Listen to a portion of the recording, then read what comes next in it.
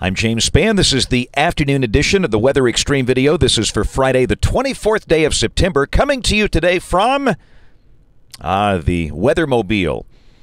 Uh, outside in the great outdoors today. Thought I'd come experience this hot weather. But big changes are coming up. Let's uh, take a look with the Skycam network. First off, coming from Montevallo, a few scattered cumulus clouds. Temperatures up in the low 90s in most spots. There's a look at downtown Fayette. Very similar sky there. And on the eastern side of the state, a look at Mount Cheaha, elevation 2,407 feet. What a great place to be. And soon the leaves are really going to start to look good up there, we hope, in a few weeks. There's the uh, water vapor satellite shot. And again, we've got the ridge in place here. Nothing new. Cold front to the northwest. The westerlies are up north. Tropical action way down south. Temperatures, yes, very toasty again today. Readings are generally in the low 90s. Birmingham, Anniston, Gadsden, 91. Those are at 2 o'clock. Tuscaloosa, 93. Cool spot, Alexander City at 88 degrees. And yeah, we're pretty much the hot spot in the nation. Actually, it's hotter up around Washington, D.C. and Baltimore today. They're up the mid 90s up there, but look at the cool air flooding the upper Midwest. Temperatures up there only in the 40s around Duluth and International Falls, Minnesota. And the cold front is well defined there from near Indianapolis down to about uh, Oklahoma City.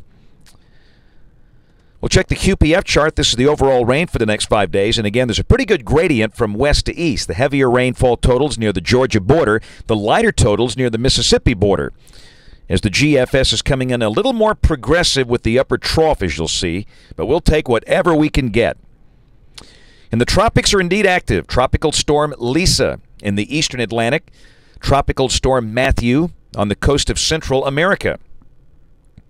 And again, Lisa not going to bother anybody, at least around here. The system drifting north and no threat to land. Matthew, again, is on the coast of uh, northern Nicaragua and southern Honduras. The top winds estimated at 50 miles per hour. And the deal is the steering currents just collapse. And with that being the case, the models now want to just move this thing inland and it just sits there. This could produce some catastrophic flooding for some of those countries. There's the intensity scheme, and of course, with the thing being over land, most models don't ramp it up, and they, they shouldn't. Uh, it's going to be a tropical depression just producing torrents of rain. And there's the official track coming from the Hurricane Center.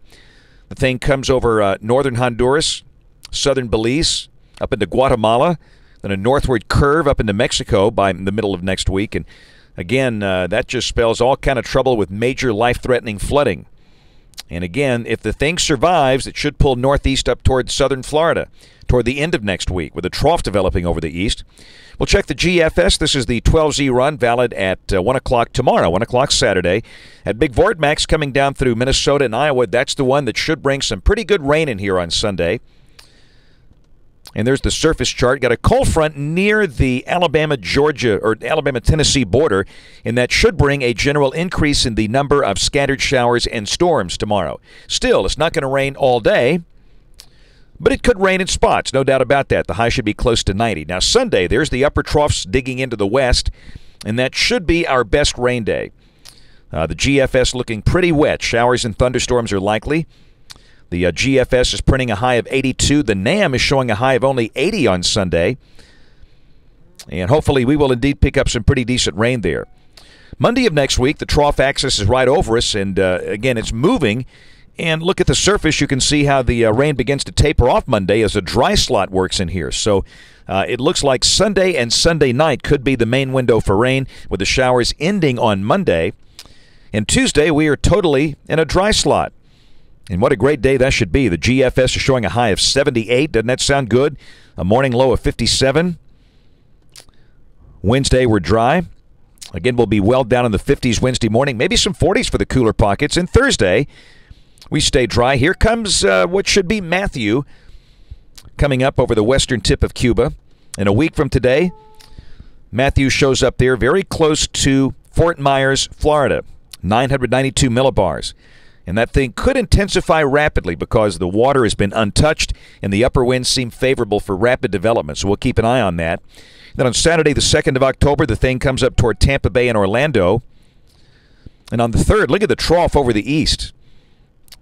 And down below that, uh, the model just kind of dissipates, really, Matthew. Uh, again, whatever's there should be taken on out up the Atlantic coast, moving northeast, and a really nice cool air mass drops in here.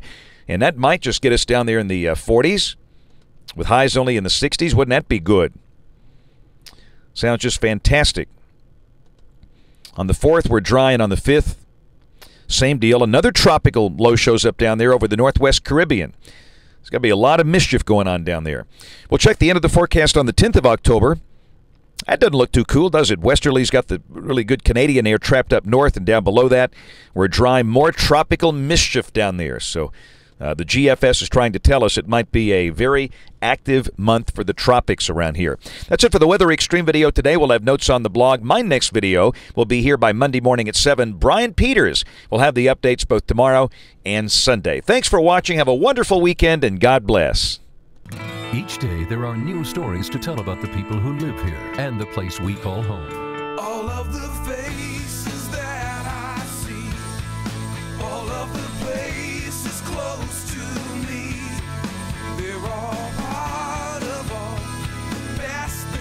about home. Sharing your stories on ABC 3340, Alabama's news leader.